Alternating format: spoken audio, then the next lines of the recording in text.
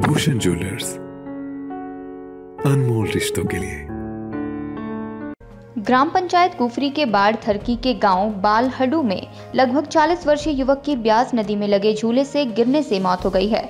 ग्राम पंचायत कुफरी के उप प्रधान ओम प्रकाश ठाकुर ने बताया, दिलीप सिंह अपने भाई प्रेम सिंह और पुत्र गोल्डी के साथ तुंगल क्षेत्र में अपने भांजे की शादी समारोह में शरीक होने खजरवाहल गाँव से नीचे ब्यास नदी में लगे झूले से जा रहा था। तो उसका अचानक पाँव फिसलने से वह नीचे गहरी खाई में जा गिरा। युवक की मौके पर ही मौत हो गई। दिलीप कुमार एक गरीब परिवार से संबंध रखता है। ओम प्रकाश ठाकुर ने सरकार व प्रशासन से गरीब परिवार की मदद करने की गुहार लगाई है। वहीं लोगों ने बताया, ब्यास नदी में लगे झूले की स्थिति ठीक नहीं है। इसलिए लोगों ने प्रशासन से मांग की है कि झूले को ठीक कराया जाए, ताकि किसी और के साथ दोबारा ऐसी घटना ना हो सके। हिमाचल दस्तक वेब टीवी के लिए पद्धर से ललित ठाकुर। पिया तो रखे अभिमान। पिया तो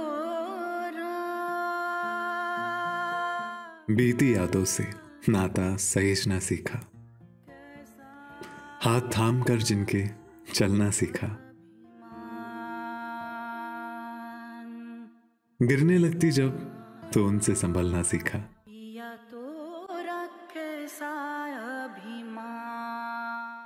उनकी डांट से खुद को तराशना सीखा।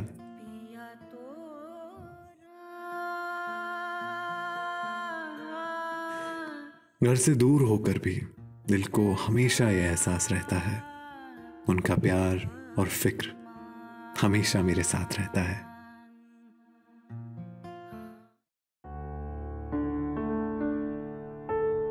भूषण ज्वेलर्स, अनमोल रिश्तों के लिए।